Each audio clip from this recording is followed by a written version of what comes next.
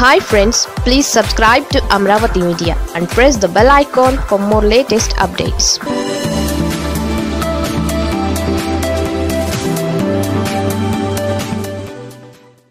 ఇంతకీ అమరావతిని కమరావతిగా మార్చింది ఎవరు? అమరావతిని భ్రమరావతి అని మేధావులు అన్నారు. ఒక దశలో వామపక్షాలు ప్రజా సంఘాలు ఆలోచన పరులు అంతా కలిసి దాని మీద ఉద్యమించారు కూడా.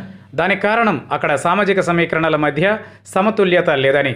అలాగే పర్యావరణాన్ని కూడా పక్కన పెట్టేసి పచ్చని పొలాల్లో చిచ్చు పెట్టేశారని. మరికొందరైతే ముందుకు వెళ్ళి అమరావతి అన్నది రియల్ ఎస్టేట్ వ్యాపారానికి తెర తీయడానికే అన్నారు. అక్కడ భూములు రాత్రికి రాత్రి కొనుగోలు చేసి చాలామంది రాజధాని బూమింగ్లో మల్టీ మిలియనియర్లు అయ్యేందుకు రాచపాట వేశారని అన్నారు. ఇక అమరావతి రాజధాని గురించి మాజీ ప్రభుత్వ ప్రధాన కార్యదర్శి ఐవైఆర్ కృష్ణారావు రాసిన పుస్తకంలో ఇంకా చాలా విషయాలున్నాయి. సరే మొత్తానికి ఇప్పుడు అమరావతి విషయంలో అంతా యూటర్న్ తీసుకున్నారు. అది వేరే సంగతి. ఇవన్నీ ఇలా ఉంటే అమరావతిని కమరావతి అని ఎవరన్నారో తెలియదు. భ్రమరావతి అని మాత్రం మేధావులు చాలామంది అన్నారు. అయితే కమ్మవారి అడ్డాగా అమరావతి ఉందని అర్థం వచ్చేలాగా వారిదే మొత్తం రాజధాని అని భావన వచ్చేలా కమరావతి పేరు పెట్టారని అనుకోవాలి. సరే మూడు రాజధానుల ప్రకటన తర్వాత కమరావతి పేరు అలా బయటకు వచ్చింది. అయినా సరే అక్కడ బీసీలు ఉన్నారు ఎస్సీలు ఉన్నారు ఇతర సామాజిక వర్గీయులు ఉన్నారని లెక్కలు కూడా చాలామంది తీసి చూపించారు. అయినా ఇది కుల రాజధాని అంటూ రచ్చ జరుగుతూనే ఉంది. అది రాజకీయంగానే తేల్చుకోవచ్చు కానీ ఇప్పుడు సామాజిక రంగును పూసి మరీ కొందరు ముందుకు రావడంతో అసలు కథ కీలక మలుపు తిరిగింది.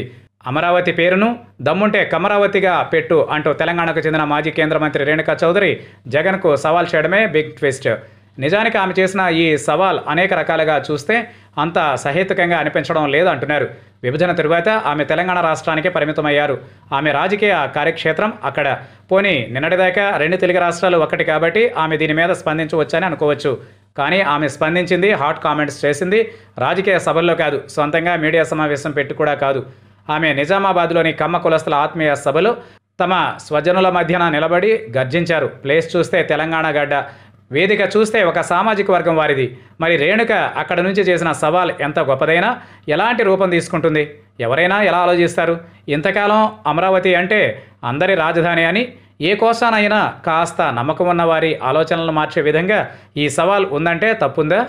ఏపీలో కుల సమరం పెద్ద ఎత్తున సాగుతోంది. ప్రధానంగా ప్రధానంగా రెండు ఆధిపత్య కులాల మధ్య రాజ్యాధికారం కోసం పోరాటం సాగుతోంది. అందులో అమరావతి కూడా ఒకటిగా ఉంది. అందువల్ల దానిని రాజకీయంగానే తేల్చుకోవాలి. ఇక కమ్మవారి ఆస్తి అమరావతి అంటే నిజం నిగ్గు తేల్చి అసలు విషయం చెప్పాల్సింది కమ్మవారు కాదు కదా. అక్కడ ఉన్న బీసీలు ఎస్సీలు ఇతర బడుగు వర్గాలు. ఇది అందరి రాజధాని అని గట్టిగా చెబితే ఆ విలువ గౌరవం వేరుగా ఉంటుంది. కానీ అమరావతి రాజధాని విషయంలో మొదటి నుంచి జరుగుతున్న పొరపాటు ఏంటంటే ఒక సామాజిక వర్గం తమ భుజాన వేసుకోవడం వారే పోరాటాలు చేయడం వారే మీడియా ముందుకు వచ్చి గర్జించడం ఇప్పుడు వేరు పార్టీలు వేరు ప్రాంతాల్లో ఉన్నా కూడా ఆ సామాజిక వర్గం వారే అమరావతి వేదికగా చేసుకుని అధికార పార్టీకి సవాలు చేయడం. దీనిని బట్టి చూస్తే వైసీపీ కోరి మరీ అంటించిన ఈ కుల బురదను తాము మరింతగా పూసుకోవడం లేదా అనిపించక మానదు. ఇలాంటి సవాళ్ళ వల్ల మరింతగా ఇబ్బందులు వస్తాయని తమ అసలు లక్ష్యం దెబ్బతింటుంది అన్న ఆలోచన లేకపోతే ఎలా? ఏదైతే అధికార పార్టీ కోరుకుంటుందో అదే చేసి చూపించడం ద్వారా అవతల సామాజిక వర్గం అతి ఉత్సాహం చూపిస్తోంది. ఏది ఏమైనా ఒక మాట. అమరావతి విషయంలో నిజాలు ఉన్నాయి నిందలు ఉన్నాయి. కానీ వాస్తవాలు బయటకు రానేయకుండా అటు ఇటు సాగుతున్న రాజకీయ రచ్చలో రాజధాని పుట్టి పుట్టకుండానే ఇంత వివాదాలమయం కావడం బహుశా ప్రపంచ చరిత్రలో ఎక్కడ ఉండదేమో.